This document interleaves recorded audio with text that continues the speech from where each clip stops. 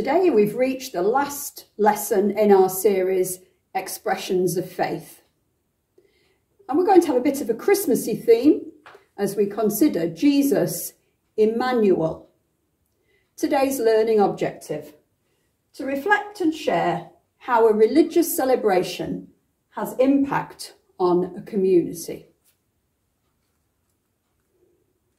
So far in this series, we've considered Jesus as Saviour, as Light of the World, Prince of Peace, King of Kings.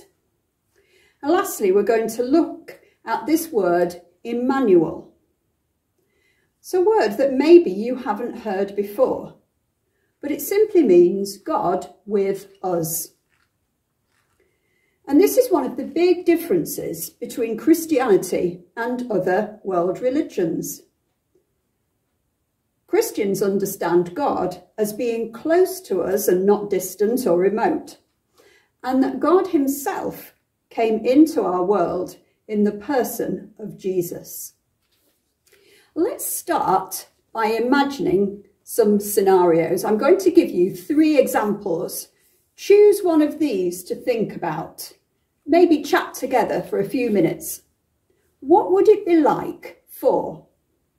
Firstly, what would it be like for your head teacher to become a child in the foundation stage? What would he have to give up? What would life be like? What would be different for a head teacher doing that?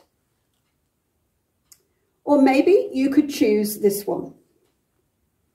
What about if Bill Gates, the head of Microsoft, really important guy, what if Bill Gates had to become a junior apprentice in a factory?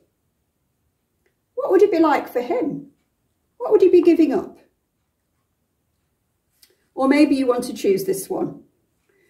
What would it be like for the Queen to come as a child living in the area around your school.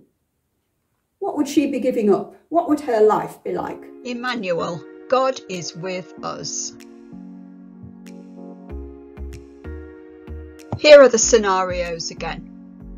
What would it be like for your head teacher to become a pupil in the foundation stage? What would it be like for Bill Gates, the head of Microsoft, to become an apprentice in a factory? Would it be like for the Queen to come and live in the area around your school? Think about these things. What would you have to give up? What would you miss? How might you be treated? Would you miss your old way of life? Would you want to change?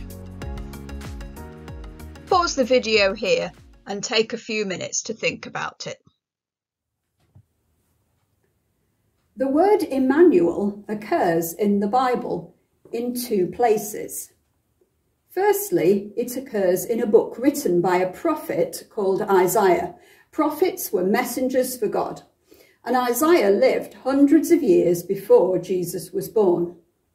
But this is his message that he received from God and passed on to the people of his time. This is from Isaiah chapter 7.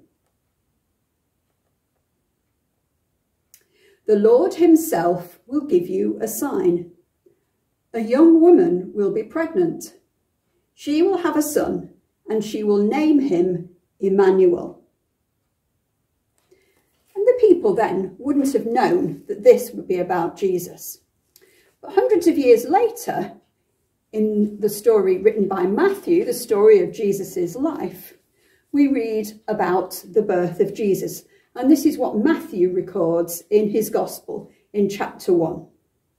An angel of the Lord came to Joseph and said, Joseph, descendant of David, take Mary as your wife. The baby in her is from the Holy Spirit. She will give birth to a son, and you will name him Jesus, Emmanuel, because he will save his people from their sins. The virgin will have a son, and they will call him Emmanuel, God with us.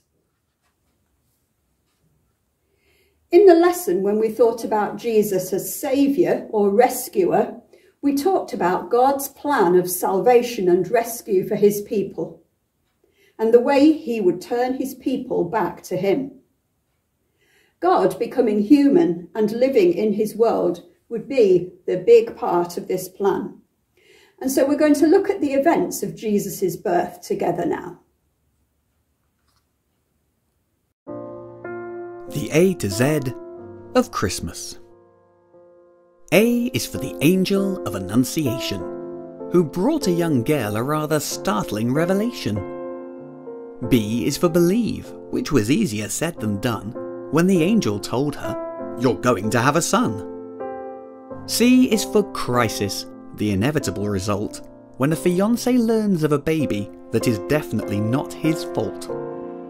D is for the dream that Joseph had one night when the angel of the Lord put the whole thing right. E is for the Emperor, Caesar Augustus, who issued a decree that there should be a census.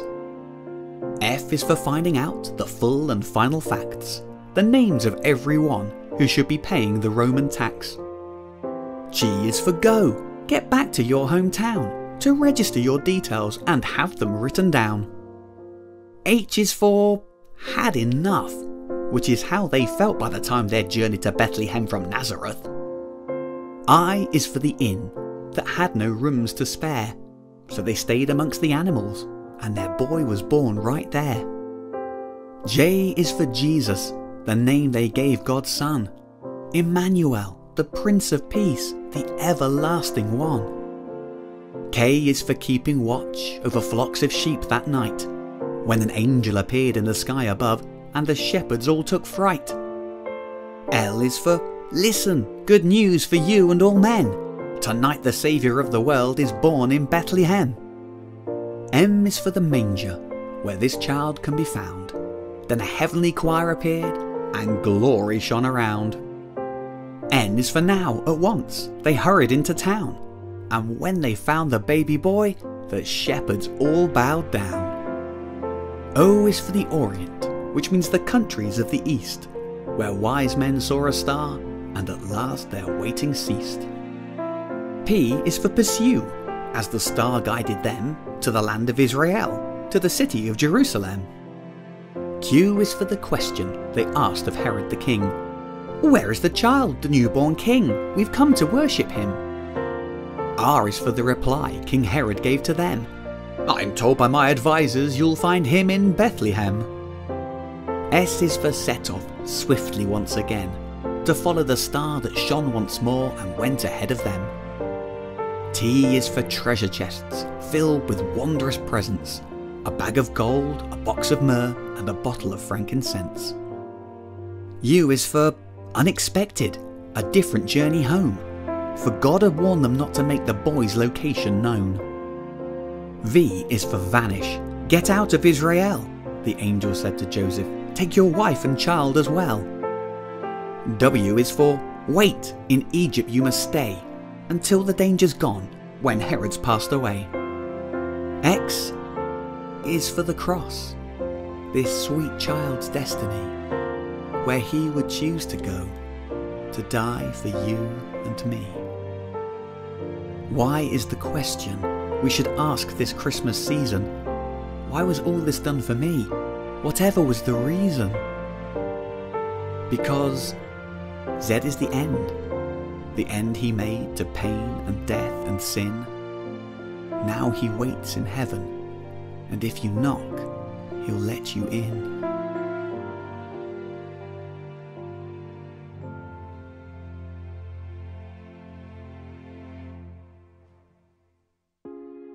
We're going to look at some images from different parts of the world. These all represent the idea of Emmanuel, of Jesus, God's Son, being with people, and they show different settings at different times. This is from Togo in Africa and shows Jesus welcomed as a new baby into the whole village community. It's especially important for them to have music um, as a way of welcoming a new child. You can see people presenting gifts too. similar to our idea of wise men. Also, animals that you can see are relevant to that area. This is another painting from Africa, from the Cameroon, and it shows Jesus is being born into an ordinary village family, but it shows that he's been visited by wise men who are really very rich and important in that area. This image is from the Philippines and shows Jesus being born into a very crowded situation where people are living in poverty. But even though the people are poor, they've still bought gifts for Jesus, gifts of what they have in their community. This Chinese painting is about 100 years old and was done by a Chinese artist who became a Christian. And it's meant to represent Chinese philosophers and thinkers all coming to worship the infant Jesus. This is a very different Chinese painting and is much more modern. It's been done by an artist called He Qi, who started out not knowing anything about Christianity, but discovered Christianity by accident in a library book and started to paint images of Jesus at various points in his life. All his images are like this, made of solid colour and blocks. This is a very elaborate nativity scene from Poland. This one was made in Krakow and it represents some of the important buildings in that place. In fact, a great cathedral you can see there. And the nativity characters are very small in comparison at the bottom. This scene is a sculpture that was made in southern France. And the characters that you can see, apart from Mary and Joseph, are called santons, and it's a word that means little saints. And the idea is that it represents people and trades in the village, and they too are coming to worship Jesus. You can see um, somebody with bread on their head and somebody else carrying something like a shepherd's crook, um, which is meant to represent the farming in that area. And so um, in this part of France, the gift bringers that are in the nativity scene all represent the local um, agriculture and things that happen in their area. This painting is very old, probably from the 17th century, and it represents North India. And it shows Jesus as being born in kind of a palace with a mum who is a princess. Do you think that is a true representation of the story? But I think the artist wanted to show that Jesus was for rich people as well as poor people. This image comes from the country of Nicaragua, which is quite a poor country in many ways, and it shows Jesus just being born in a, an open shelter. You can see the angel there announcing the birth, and the banner that the angel displays means I come to tell them that in Nicaragua the new man has been born. Making the point that Jesus is for those people as well as other countries. You also notice that there are different animals in the scene, and that's to represent the local um, animals that live in that area. This model is from Peru and it shows the people living in quite a crowded building um, in flats uh, with balconies and Jesus and the uh, rest of the Holy Family are at the bottom, probably in a street, to show that there was no room for them inside. What do you think about these images? Which ones do you like and why?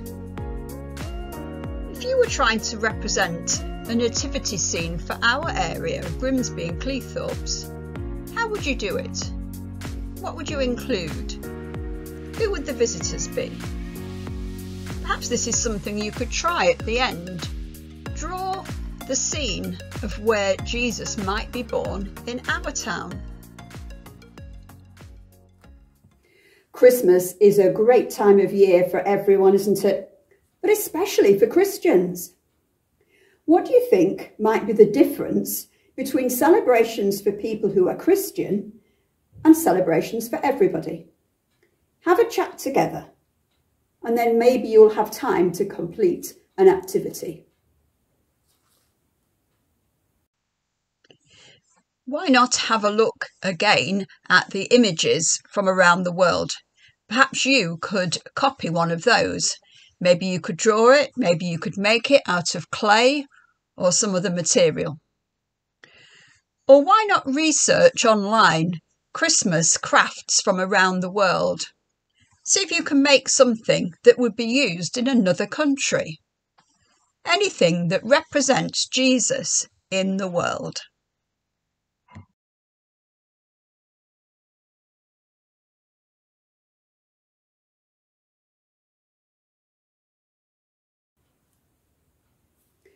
Over the last few weeks, we have learnt several ways that Christians may think about Jesus.